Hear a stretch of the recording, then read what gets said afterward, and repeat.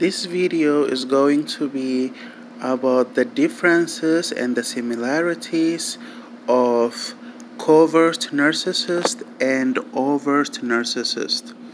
And probably I am not going to figure out everything in this one video, but I will have a part 2 and part 3 and part 4 and part 5 like uh, on this subject. I will have a few other parts of videos on this subject because they do have some similarities, some differences between covert narcissist and overt narcissist. So let's talk about number one and about their mask and their image to the society.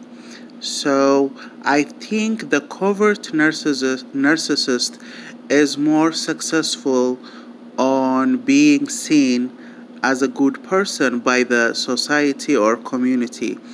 Because yeah the covert narcissist the covert narcissist narcissist they really hide themselves and they really care about their image and in the in the community and uh, their mask is better than the co- than the overt one. The overt would like to be like the covert. They would like to have a good mask, good image, and a little bit respected and loved by their community. But yeah, a lot of people just know uh, that the overt narcissist is bad person, but most people they don't know that the covert narcissist is a bad person because the covert narcissist they have a fewer fewer people to abuse than the overt one. The overt have more people to abuse than the covert one. So that right there is one difference. The covert is more focused on their image being a good person looking like a good person and a good mask and covert narcissists it will take you a very very long time to find out that this person is a narcissist. And but the overt narcissist i think will save you time. And you will find out that this person something is wrong with them. They are negative they are abusive it will take you less time for you to find out that the overt narcissist is abusive. But the covert it will take long time very long because they are a little bit more complicated. When it comes to their abuse and when an overt narcissist abuses you you can at least explain it to other people. They will understand a little bit more than the covert one. When a covert narcissist abuses you, it will be very complicated, it will be covert.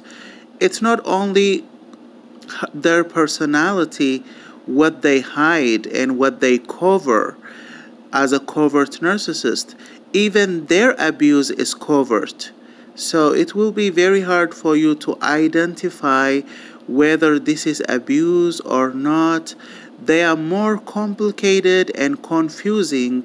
The covert narcissist is more complicated and confusing and frustrating than the overt one. If the overt narcissist abuses you, it will be completely clear, I think. It will be much better for you to identify what's abuse, what's not, what's going on.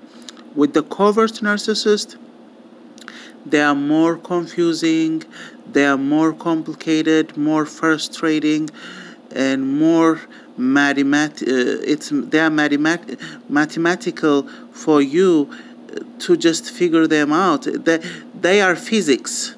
The covert narcissist is a subject. They are physics, they are chemistry, they are maths, they are too much to, for you to figure out whether you have been abused or not because they are covert. So for me, I think the covert is bad because they most people think that they are good they will waste years of your life so much time of your life for you to figure out that they're a narcissist. Even when they abuse you they, when they abuse you they will it will be very complicated for you to find out what is abuse what is not because everything is a covert because this person is a covert narcissist.